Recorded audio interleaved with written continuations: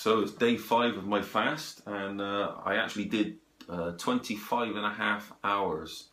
That wasn't necessarily by choice. I wasn't trying to test myself in any way. I didn't feel hungry, which is very strange. Um, I just felt that um, you know that we, we were going out for a meal in the, in the countryside here in uh, Somerset, and uh, you know we decided that we had to you know do a bit of running about first, and we were stuck in a bit of traffic.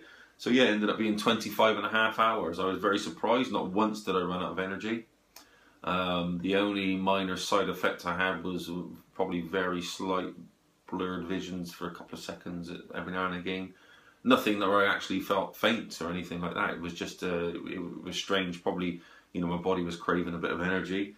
Um, and yeah, so so th- there was uh, essentially no hunger. But when I went out for the, you know, th- there was the belly rumbling. There was all the, the, the telltale signs of when you don't feed yourself, but the actual hunger went there. You know, the, not the hunger sickness and the looking around and thinking, I've just got to eat something. I've just got to eat something. Um, it wasn't there. It just wasn't there. I, I, I seriously put it down to the earth the earth that I have, which I perhaps I want to show everybody what, just for the people who missed my first um, vlog on this. Perhaps I want to get this out and just uh, let you guys see what I have. So I have a tablespoonful of this, this earth every single day. Um, that's from Ancient Purity, is a, is a site I know and trust very, very much because uh, one of my friends used to uh, be part ownership of it, and he told me all what goes on with their stringent testing there. So I just I just trust it, and um, you know, I I really do put it down to that because when I get up in the morning, sometimes I might have just a, just a slight hunger sickness, like you would get in the morning before you have breakfast, where it almost puts you off of breakfast because you feel a little bit ill. And I would take a tablespoonful of that that in 300 milliliters of water drink it straight down. Obviously, swill it down afterwards. It's a bit pasty. It's tasteless, but it's um it's a bit pasty, like texture, and uh, and and that would go, and I just wouldn't get it back. So yeah, that was it. That was you know really interesting to go that long. Um, obviously, I don't want to do that all the time because we were pushing on into different days and different times of eating. And the next day maybe less time then of, of actually fasting. I want to keep a regular thing going. So um, what was interesting as well, we were looking into um, actually you know, I had symptoms of like a mild flu yesterday, which which I always attribute to um, to actually when when you're dieting or you're detoxing, you you definitely get these feelings. I didn't actually realise it was a known thing. I thought it was just a, they would just call it like a withdrawal symptoms or something like that. But it was actually Rita May pointed out to me on Facebook that uh, the actual name for it is is the Herxheimer reaction, and that's basically the the achy joints the headaches and all the things that are associated with detoxifying and how it's pushing it all out of your body and that's why you, you your body's having like a purge and that's why you feel that way. So that that was really interesting. If you get a chance look look up that. It's, it's uh Herxheimer is spelled H-E-R-X-H-E-I-M-E-R so uh, put put that in and just have a little read of the I mean there's loads of writing on it but just have a little read of the first paragraphs and it sums up exactly how you feel when we um, when we detoxify.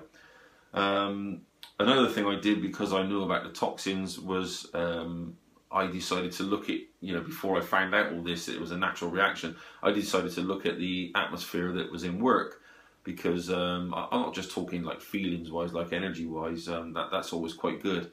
We have really healthy conversations and things like that, which is very important. But um, you know, I'm talking about the actual what you're breathing in when you're in work.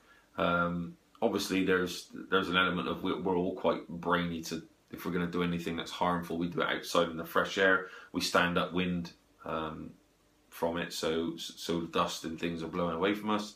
Um, so but what one thing I did think about was that we had uh, some gas heaters in there because we're obviously building uh, we're I'm building an extension at the moment and, and the kitchen and uh, bathroom lots of other stuff and um, part of it was we had to we, we, obviously never had any radiators in the new section which was sectioned off from the original section of the house. But we did have two gas heaters going. One was a propane one like a like a blower heater. So it's got the fan and the flames blowing directly into the room. That was that was one of them. That was a propane one. And the other one it was only small. And the other one was uh, was a butane heater, like like you get some, or we had years ago in caravans where they they get the front element, which is like a white um, chalk thing with loads of holes in it. It lets the gas out very slow and just burns very slow into the room.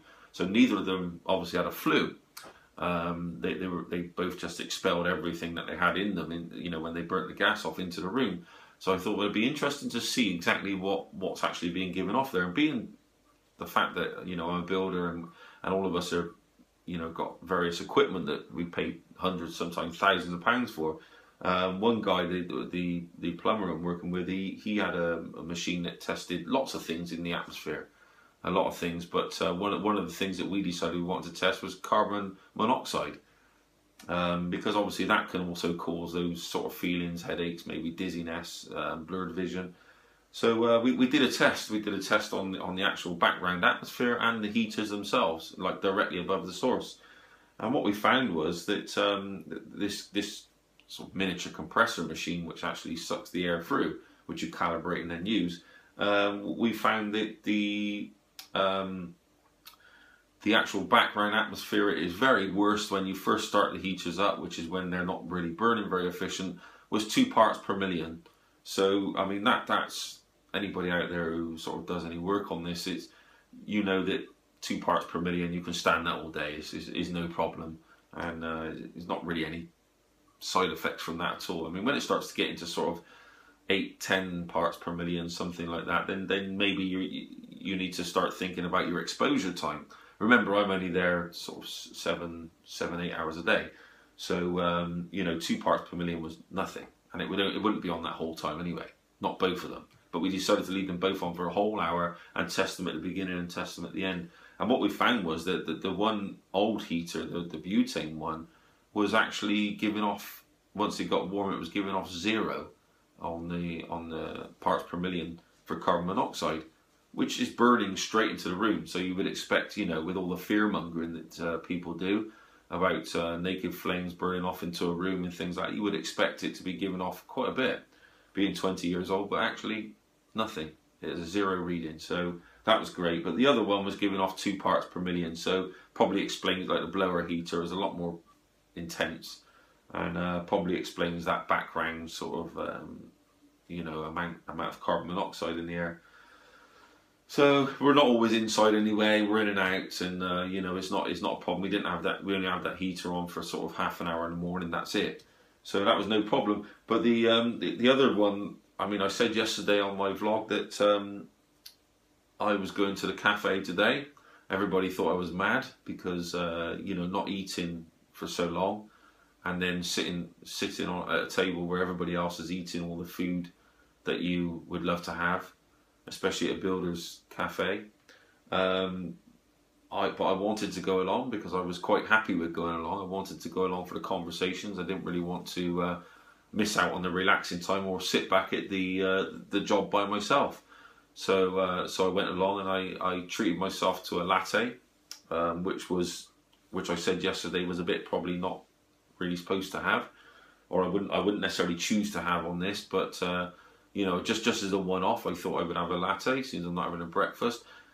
I didn't really enjoy it. I drank it because I had obviously had to pay for it now, so um, I started drinking it, debated drinking it, leaving half, and I just I, I just drank it in the end. But the immediate effect was ten minutes later I got a headache, which didn't we didn't give up till um, till three hours later, four hours later. So I instantly regretted it. I mean, I had no headaches, just a slight little maybe in the morning when I wake up. I had something one day, no headaches at all, and then suddenly I have this latte, and then I've got these um, you know background headaches constantly then for three hours. So I won't be doing that again. Um, it just it just wasn't worth it, and it didn't make me feel too great actually doing that. Um, I, I, didn't feel like I was being true to myself. I know it's only a latte. People are saying, "Oh, it's only a latte." It's just a little bit of milk in there. Maybe, maybe there's some caffeine in there, but uh, for me, it was um, it was almost like I I wasn't doing what I was supposed to do.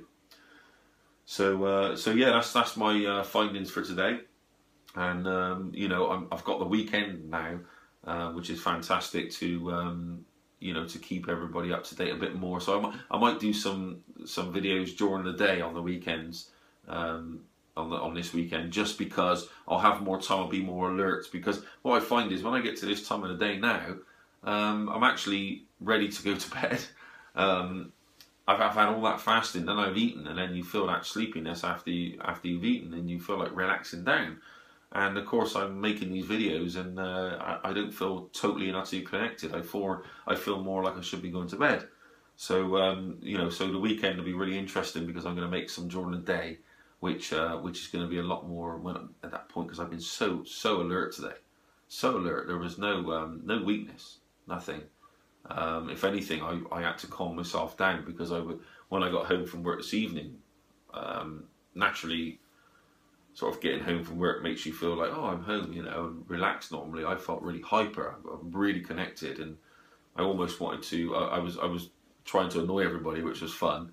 You know, we, we all do that to each other here. So, um, you know, we're all, we're all um, but I was over hyper, and I started thinking, come on, calm down, because in a minute, what's going to happen is you're going through this stage where you're you're running around trying to make jokes and stupid noises, and you know, scare everybody and do stupid things like you do um, and then you're going to crash in a minute. So uh, you, you, know you're going to end up just sat down with no energy. So I did calm myself down a bit. I had to, even though I'm doing a physical job all day. You know, I had to calm myself down. So um, you know, it'd be nice to make some videos when I feel like that, rather than this evening thing with the lights on. Um, you know, and and, uh, and and trying to talk to you from a sort of tired place. I think there'll be more energy the weekend.